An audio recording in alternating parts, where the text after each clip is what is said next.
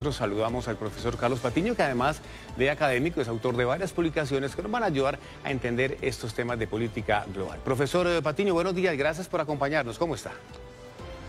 Muy bien, buenos días, muchas gracias. Profesor, eh, ¿por qué China y Estados Unidos están en esta disputa de aranceles? ¿Qué es lo que pasa? Esta disputa comienza fundamentalmente desde las promesas de campaña del presidente Trump, que prometió cerrar el déficit comercial de los Estados Unidos en el, comercio con China y cerrar una brecha que para él es de 500 mil millones de dólares. Muchos plantean que la brecha es un poco más pequeña, un poco más grande, etcétera, pero más o menos esta brecha del déficit comercial entre importaciones y exportaciones entre Estados Unidos y China. Ahora, ¿Cuál es el asunto de fondo? El asunto de fondo es que Trump quiere cerrar esta brecha prometiendo crear nuevos empleos y trasladar el grueso de las empresas que se habían ido a Estados Unidos a China, de Estados Unidos a China, volverlas eh, de alguna manera llevarlas de nuevo a los Estados Unidos. El problema es que esto hasta ahora Trump ha tenido éxito económico, ha tenido éxito económico por el sobreendeudamiento, por el gasto exagerado en armamento, por eh, poner unos aranceles costosísimos a las importaciones. Sin embargo, la economía de Estados Unidos y China están en un punto tan imbricado, tan de tanta relación de la una con la otra, que esta guerra comercial, como ya empiezan a advertir muchos, empieza a convertirse en dañina también para los Estados Unidos. De hecho, las bolsas económicas del mundo están a punto de caer porque eh, están a la espera de la respuesta de China a estos últimos anuncios del gobierno Trump. Profesor Patiño, ¿esta situación de qué forma podría golpear a mercados emergentes, por ejemplo, como el de nuestro país?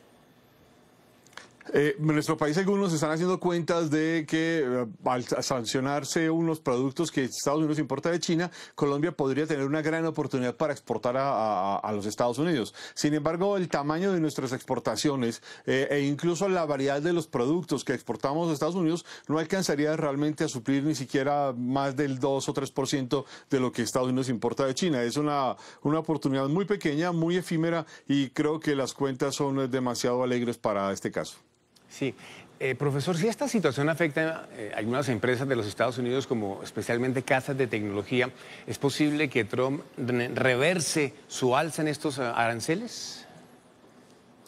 Pues yo personalmente creo que es difícil que el gobierno Trump reverse eh, esta alza en este momento, porque lo que Trump empieza a, hacer es actuar de cara a la reelección. Y en ese contexto pareciera ser estar eh, de alguna forma calculando con demasiado detalle qué elementos o qué de sus acciones van dirigidos hacia sus electores. Y en consecuencia, digamos, lo veo difícil. Lo puede hacer si China toma una decisión dura, como parece ser que el gobierno chino está anunciando lo va a hacer y lo va a hacer porque China está dispuesto a negociar, pero no a cambiar su modelo económico, que es lo que para algunos parece estar detrás de, en el fondo de las sanciones norteamericanas.